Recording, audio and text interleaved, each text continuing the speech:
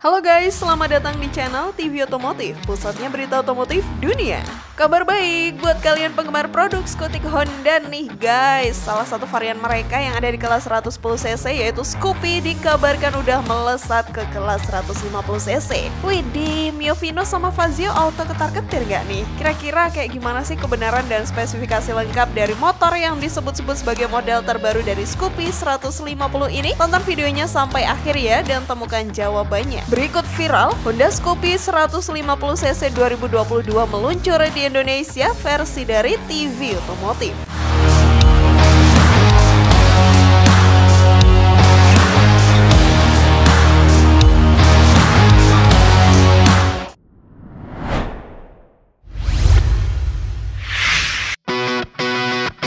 Jadi lebih mungil, benarkah ini Honda Scoopy 150? Guys, info-info aja nih, motor yang dikabarin bakal jadi model baru Scoopy di kelas 150 ini punya tampilan yang beda banget loh, terutama dari dimensinya yang jadi agak mungil dan sedikit mengecil. Lebih lengkapnya, Scootik model terbaru ini masih tetap punya bentuk yang klasik tapi dengan banyak polesan modern guys. Mulai dari bodi depan sampai belakang kelihatan membulat tanpa adanya banyak garis tajam yang udah pasti menambah kesan klasiknya. Selain itu ada juga beberapa aksen motor ini yang bikin tampilannya jadi lebih klasik lagi lagi, di antaranya ada jok dengan jahitan berpola wajik dan juga white wall pada roda berdiameter 12 inci di depan dan belakangnya. Oh ya, nggak lupa menariknya lagi pabrikan ini juga menyiapkan aksesoris tambahan nih, tapi sayangnya mereka dijual terpisah ya, antara lain ada windshield, dan juga box belakang yang warnanya bisa disesuaikan sama warna motor. Terakhir biar jadi makin Yahut klasiknya, variannya udah ditambahin juga aksen white wall pada lingkar bannya yang super stylish. Hal menarik lainnya juga ada di list lampu LED pada bagian bodi samping yang bisa kasih kesan unik waktu menyala. Ayo, makin keren gak sih menurut kalian? Namun sebelum videonya semakin berlanjut, klik dulu tombol loncengnya ya biar kalian gak ketinggalan info terbaru dari channel ini.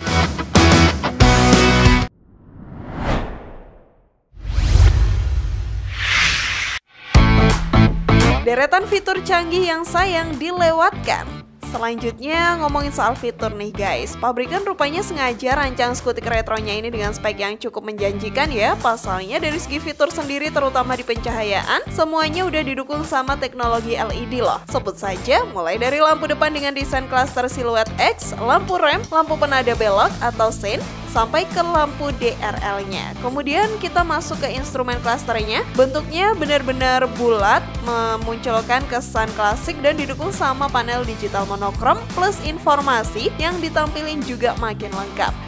Dan menariknya lagi guys, lampu latar meter klasternya juga bisa diubah dengan tujuh pilihan warna yang berbeda. Jadi kalian tuh bebas gunainnya dengan pilih warna yang sesuai mood kalian. Cie ile, kok malah jadi lebih peka motor ya daripada si ayang.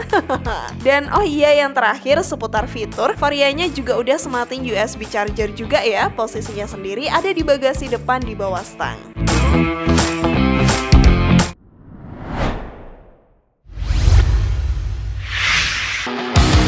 Mesin 150cc, tapi power mengecewakan?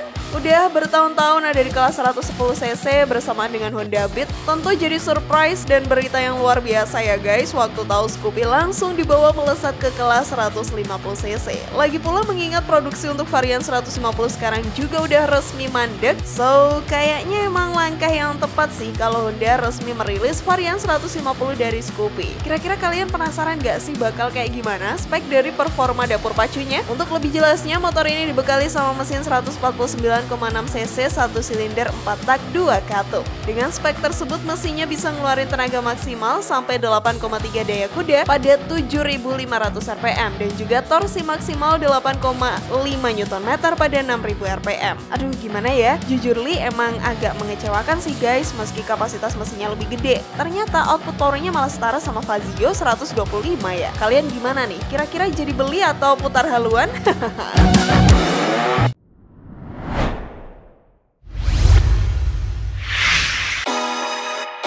Reveal varian dan informasi harga. Nah guys, buat kalian yang udah dibikin halus sepanjang video lagi-lagi jujur li sebenarnya motor ini bukan varian terbaru dari Scoopy 150 ataupun calon model barunya ya. Motor ini adalah hasil produksi Benelli yang diberi nama Keyway Shiny 150.